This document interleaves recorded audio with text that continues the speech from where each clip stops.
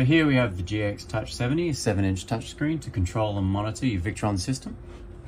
Uh, this is our main power flow page, just showing how the power is flowing through the system. So up here we have what our uh, Multiplus is doing, which is it's inverting, with, and currently using about 15 watts of AC power. Our batteries that are 100%, you can see our voltage and current down here, and uh, we can see that we currently have 177, 78 watts coming in from the solar, and we're using about 166 watts of power. So the system is pretty well balanced at this point.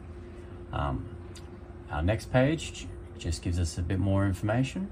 Um, this page here shows pretty much all the information. Um, so we have our AC and PV power. Uh, we have the power that we're using from the DC system. We've got our, our water tanks, which are all empty at the moment. And again, our battery percentage. Uh, and then here we just have a page which purely shows the water tanks. Now back on this page, we have a little bit of control. So uh, we can control the AC mode and the AC current limit. AC mode is basically controlling how the, the Multiplus inverter charger functions.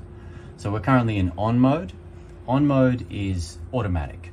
So we're currently inverting because we're off grid at the moment. And if we plug into mains power, it'd automatically start charging the battery as well. Uh, and then we unplug from mains power, it automatically switches over and starts inverting. Uh, we could also be in charger only mode which pretty much only functions when you're connected to mains power. So you're plugged into mains, you're still charging your battery, you're getting AC power passed through, but if you went off grid, then your inverter would switch off. Uh, inverter only doesn't have much function, and then off is just off. Um, it won't do anything in that mode. So uh, if you you can leave it in on, and then it'll automatically do everything you want it to do. Here we have the AC current limit. It's currently set to 15 amps. That's just setting the limit of how much the inverter charger will pull from an AC source that is plugged into, be it a generator or a plug at a caravan park. So, you know, you might want to lower that if you're at a caravan park because a lot of sites can only give about 10 amps.